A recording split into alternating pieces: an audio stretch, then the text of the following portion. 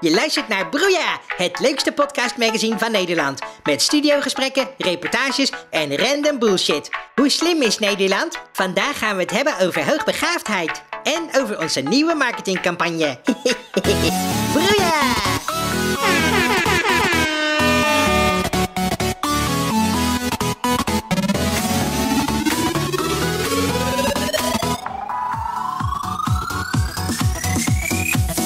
Zo, ja. Nou, dit was een beetje een verwarrende week, hè, Chantal? Ja, zeker, ja. En, en vannacht hadden we ineens Ja. eh, te maken met een kogelregen. Ja, Ja, hier in ja. Rotterdam-West. Ja. Eh, Daar zitten wij natuurlijk met de studio. Ja. En ze wilden onze studio opblazen, Opblazen. door de ruit in te schieten. Ja. En eh, vervolgens een handgranaat naar binnen proberen te gooien. Inderdaad, Maar ja. ja, dat is zo mooi niet gelukt. Nee. Want ik had net de ruit van de studio volgeplakt met posters van de nieuwe film Rambo Last Blood. Ja.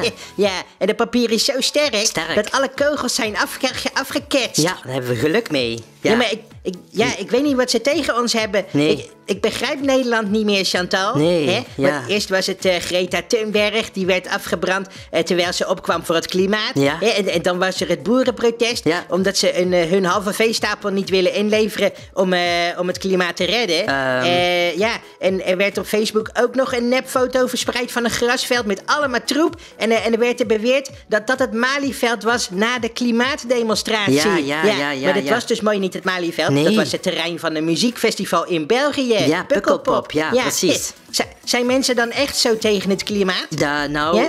eh, Ja. weet je, ik denk... Is eh, Nederland dan echt zo dom? ja, nou, dat vind ik nogal een beetje kort door de bocht, hè. Oh. Want zo simpel ligt dat niet. Nee. Niet? En Oh. eh, door mensen dom te noemen, creëer je alleen nog maar meer woede en afstand. ja. Oh, oh, oké. Ja, en het schijnt dat Nederland qua intelligentie op de derde plaats staat van de wereld. Je, de, hè, wat? Oh? Ja. Hè, op de derde plaats? Ja, Oh, ja. Nou, dat verbaast mij. Maar en, en, en wie staat er dan op de eerste plaats? Eh, op de eerste plaats eh, staat Japan. Wat? Ja, Japan. Ja, ja. Ja, ja, dag. Ja, hoe- wat? dat geloof je toch zelf niet, Japan? Nou ja. Die rijstebreiers? Oh. Nee, kom op, Chantal, dat Eh, klopt toch niet? Ja, pas een beetje op je woorden, hè, eh, Jaapie, want Ja, maar- zo raken we nog luisteraars kwijt. Eh, oh ja, nou, nou, nou ja. Ja. en- ja, weet je, ik wil het er niet eens meer over hebben. Want, want Broeia gaat helemaal niet over politiek. Nee. Broeia is een amusementsprogramma. Oh, rustig, rustig, En- ja, oh, sorry. rustig. Ja. En daarom hebben we deze week iets nieuws, namelijk de nieuwe rubriek Raad het Geluid. Weet jij wat het geluid is? Bel dan naar de studio. En raad het geluid. Je kunt mooie prijzen winnen. Maar alleen als je het goed geraden hebt. Dus niet als je het fout geraden hebt. Want dan win je niks. Dus als je niet weet wat het geluid is dan hoef je ook niet te bellen. Bel alleen als je denkt dat je weet wat het is. Het geluid. Raad het geluid. Bij Ja, dit is dus een nieuwe rubriek van eh Broeia. Eh, die heet Raad het Geluid. ik, ik vind die jingle wel echt heel erg top, hè? Ja, het is zo, een eh, mooie zo jingle. lekker kort en zo. En Ja. heel duidelijk ook dat iedereen weet wat het is. Ja, maar zeker. Goed, ehm, dit, eh, dit, is, dit gaat dus als volgt. eh, ik laat zo een geluid horen. hè. Ja. en als jij denkt, jij daar die aan het luisteren bent, als jij denkt dat je weet wat het is, Ja. dan kun je bellen naar onze studio. Oh, ja. En eh, ja, als je het goed geraden hebt, dan kun je een mooie prijs winnen. Goed. Oh, leuk. Hier komt het geluid. Oh ja, Ja, dit was ja. het geluid. Ja. Eh, als je het gemist hebt, ik laat het nog één keer horen. Dus Oh, eh, ja. hier komt het geluid. Nog Ja. een keer. Tja, Ja. nou, eh, ja, hij is wel erg moeilijk. Ja, maar goed, moeilijk. heb jij een idee wat het is? Bel dan naar de studio en je kan een prachtige prijs winnen. Oh, goed, dan gaan we gauw over naar eh, de gast. De gast. Op bezoek bij Broeia. Even lekker ouwe hoeren. Gezellig. Eh, ja, nou ja, zoals iedereen weet, eh, wij zijn nu eh, zes maanden bezig met Broeia. Hè, eh. Ja. En dit is aflevering 30 alweer. En eh, vandaar dat wij, eh, ja, het is nu tijd voor bezinning. Ja, Dus, ja. wij zijn eigenlijk benieuwd van, ja, wie, eh, wie luisteren er eigenlijk allemaal naar ons programma? Ja. En eh, vandaar dat wij hier in de studio hebben, eh, even kijken hoor, eh, Ja. Mark Ketting van Oh. PR-bureau Cooper. Ja, hallo. Mark, Mark Ja, Ketting. Mark Ketting, ja, hallo. Heet jij echt zo? Ja, natuurlijk. Hoezo? Hè? Wat? Nou ja, marketing, marketing. Oh, hè? Oh, Ja? oh, Oh, nee. had, ik, had ik nog nooit zo over nagedacht. Oh, daar was, je- oh, had je zelf, was je zelf nog niet opgevallen. Nee, nu je het zegt. Ehm, wel grappig, nou hè? goed. Ja. Ehm, kun jij misschien, eh, Mark, Mark, Ja. kun jij misschien eh, kort even iets vertellen over PR-bureau Cooper? Ja, natuurlijk. Oh. Kijk, eh, Cooper is een communicatiebureau met public relations en content marketing in ons Rotterdams kloppende hart. Ja. Hè? En het is onze ambitie om communicatievraagstukken op een creatieve, effectieve en geïntegreerde wijze voor onze opdrachtgevers op te lossen. Oh, oké. Nou, dat is een hele mond vol, eh, maar wel eh, volkomen duidelijk natuurlijk. En eh, jullie zijn ook een heel gezellig bureau, hè, heb ik begrepen. Eh, ja, dat klopt. Ja, want we zijn eh, pas nog met de hele toko op vakantie geweest. Ja, En eh, omdat jullie tien jaar bestonden, hè? Ja, ik heb de foto's op Instagram gezien en eh, ik moet zeggen, ja, die lieten niet echt veel aan de verbeelding over, hè?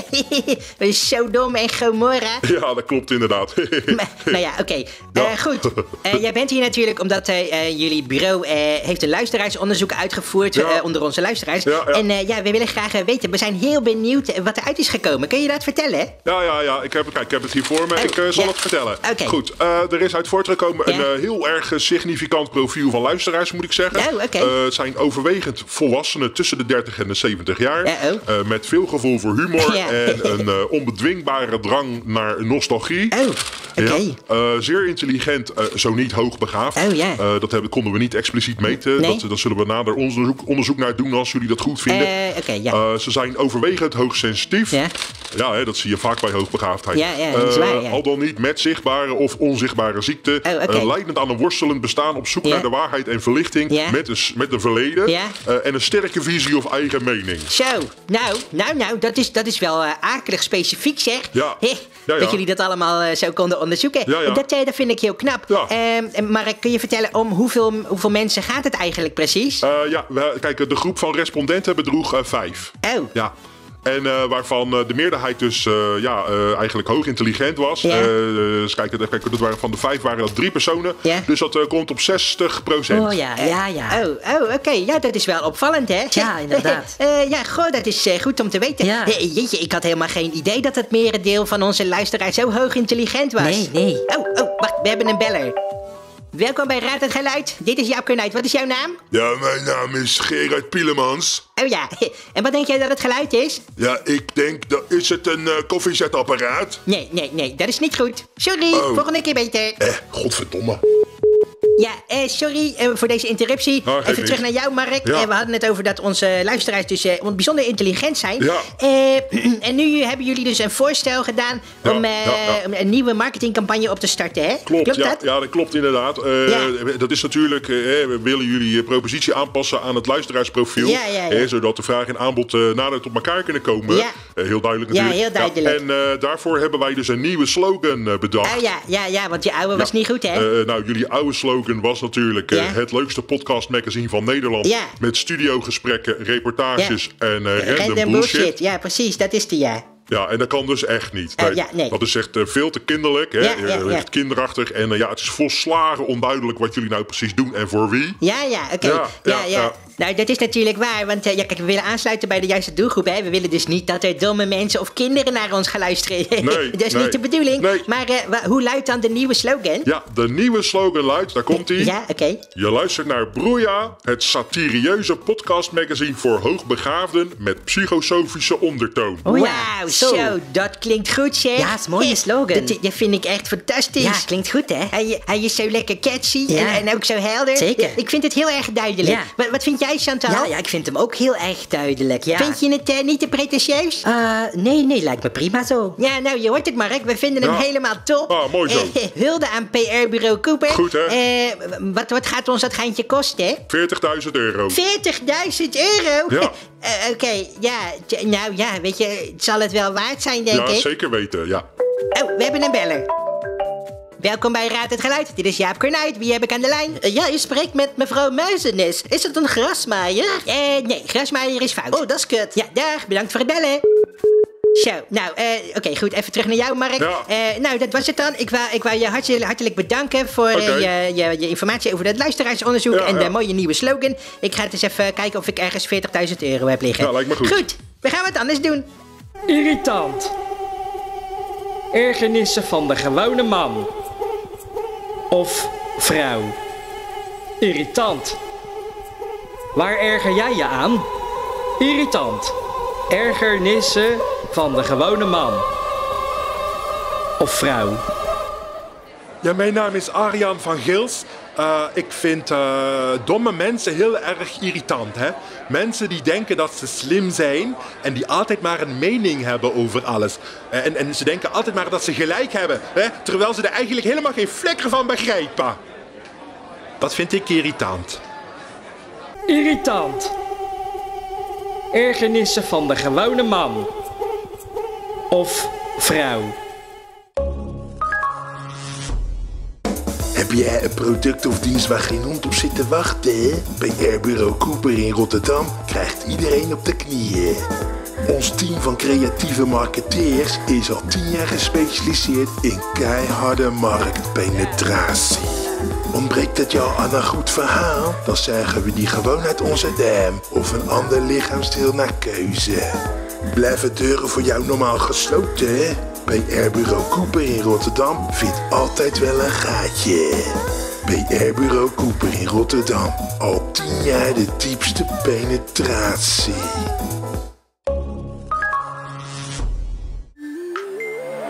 Je luistert naar Broeia, het wekelijkse satirieuze podcastmagazine voor hoogbegaafden met psychosofische ondertoon.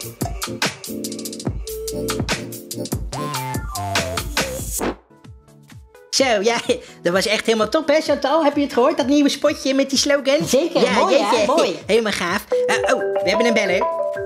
Welkom bij Raad het Geluid met Jaap Kornuit. Wie heb ik aan de lijn? Ja, nou, dit is Jeroen Naaktgeboren. Ik wou het even hebben over Ja. die nieuwe slogan van jullie. Eh, oh. Want die begrijp ik dus helemaal niet. Ja, oh. wat, wat is bijvoorbeeld satirieus? Ja, oh, nou, ja, satirieus, dat weet toch iedereen? Dat is een samenvoeging van serieus en satire. ja. ja. Ja, simpel. En, en psychosofisch dan?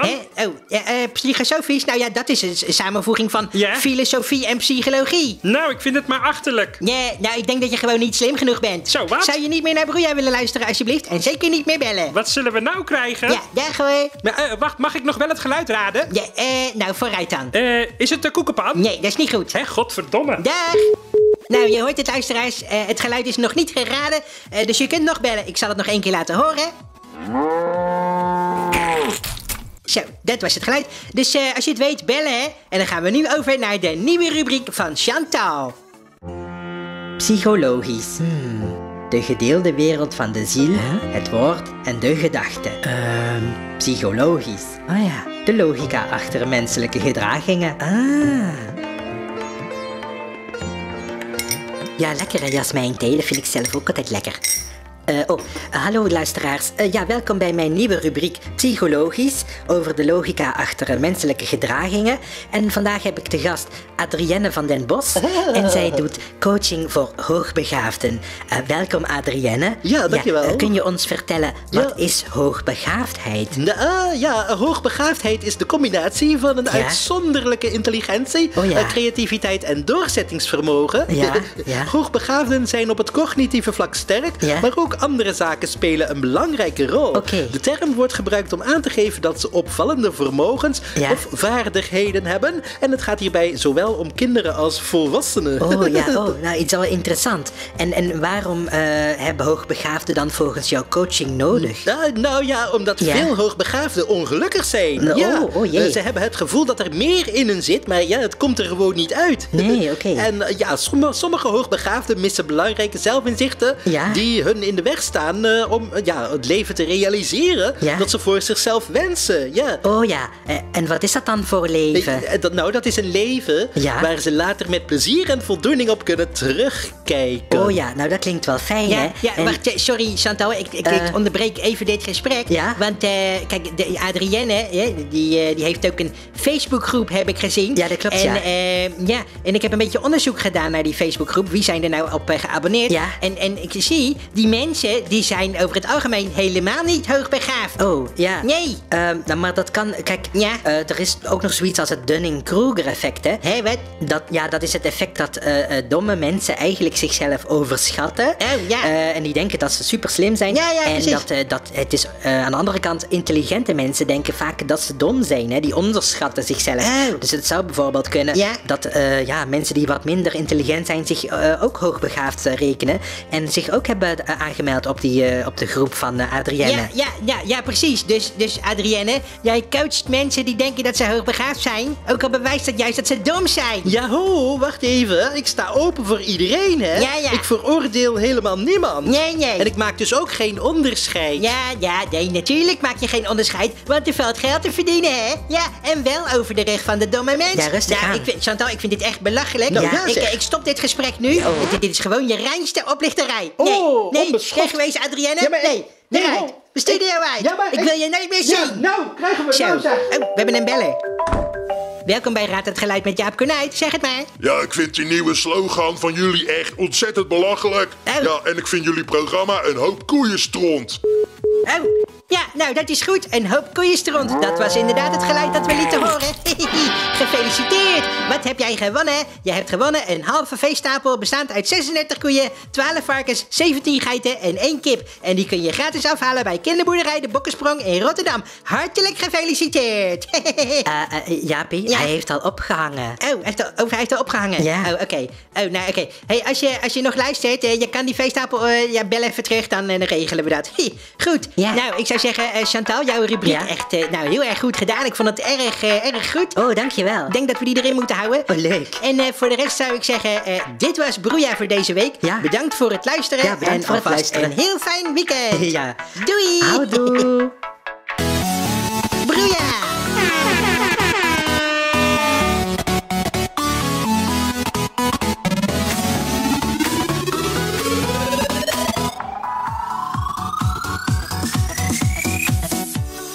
Chantal, Ja? denk je echt dat mensen onze nieuwe slogan begrijpen? Oh ja, ik denk dat dat wel goed zit. Ja? Want niemand wil immers toegeven dat hij dom is. Oh ja, dat is natuurlijk ook zo. Oh, nou, kan ik dan even 40.000 euro van je lenen? Pardon? Ja, oké, doei. Je kreeg geen rode cent van mij, Jaapie. Hoor je dat? Dag. Vond je dit leuk? Ja, ik vond dat wel leuk, ja. Nee, ja, ik heb het even tegen de luisteraars. Oh, oh, sorry, dat had ik niet door. Ja, dus vond je het leuk? Ja. Klik dan op de video's hieronder voor meer afleveringen. Oh, ja. En vergeet natuurlijk niet te commenten, Ja. te liken Ja. en te subscriben. Oh ja, dat ook, ja. Bedankt voor het luisteren. Ja, bedankt voor het luisteren. Broeia!